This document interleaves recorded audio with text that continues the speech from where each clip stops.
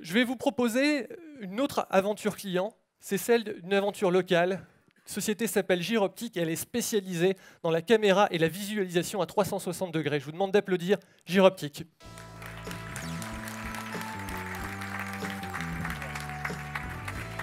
J'ai un micro, j'ai un micro. Merci. Merci Alexandre, bonjour. Bonjour à tous. Alors très rapidement, effectivement, moi je vais euh, vous présenter euh, Giroptique. Alors euh, Giroptique, euh, on essaye. Giroptique, c'est une histoire depuis 2008. C'est 2008. On est 17 personnes maintenant chez Giroptique. On est basé à Eura Technologies.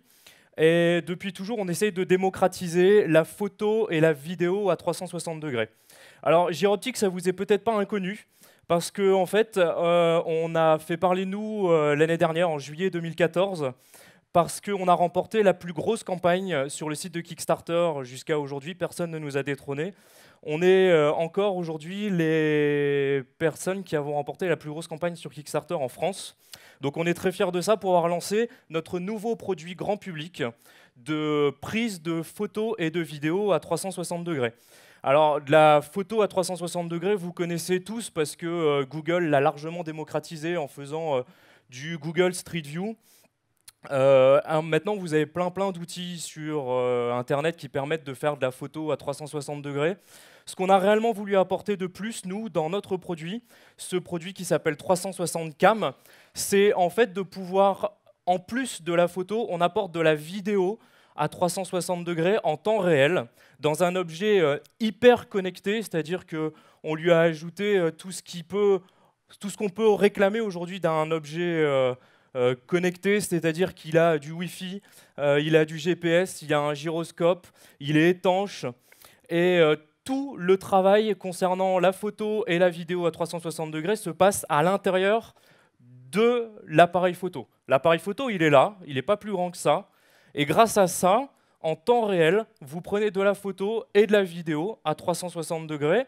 Comme tout le calcul est à l'intérieur de l'appareil photo, vous pouvez diffuser instantanément du flux vidéo, photo si vous voulez, à 360 degrés.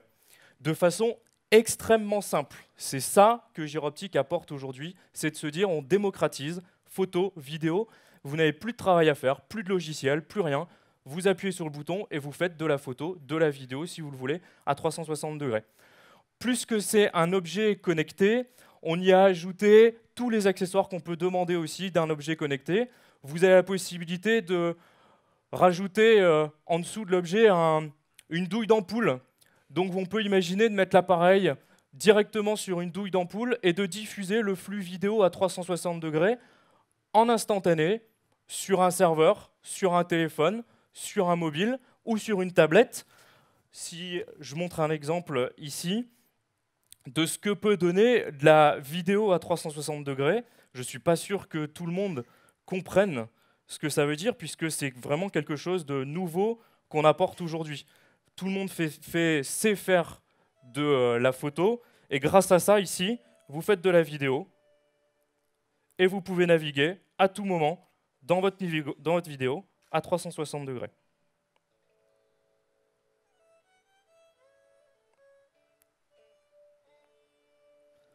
Voilà ce que peut apporter avec ce type de produit. Le lien avec OVH, là-dedans, je vais revenir euh, au début, il y a six ans, quand on a déjà développé euh, d'autres produits. Euh, c'est le quatrième produit qu'on développe. À l'époque, on faisait énormément de photos. Et il y a six ans, vous connaissiez pas Google Street View, vous connaissiez pas tout ce qu'était de la photo à l'époque.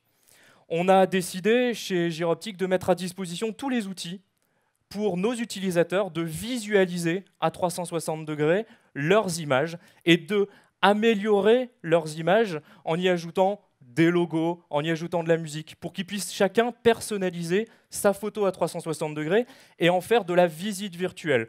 Notamment ce que vous pouvez voir de plus en plus aujourd'hui avec les agents immobiliers qui vont faire de la visite virtuelle de maisons ou d'appartements. La solution qui a été montée il y a six ans euh, chez Giroptique, c'est une solution chez OVH euh, avec un certain nombre de serveurs.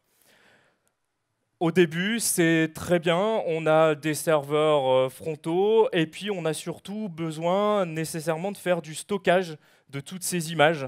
Donc on crée un serveur, on met un deuxième serveur, du serveur dédié, on a un certain nombre de machines qui viennent euh, s'imbriquer les unes dans les autres. Euh, et ça, ça fonctionne très bien.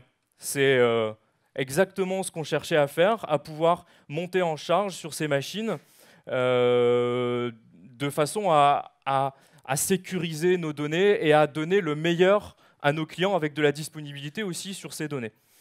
Euh, depuis six ans, il y a eu beaucoup d'évolutions, et notamment avec ce dernier produit qui est né cette année, on est passé sur un marché grand public. En un rien de temps, on est passé de quelques euh, milliers de clients à presque 10 000 clients, puisque notre projet a fait un grand boom.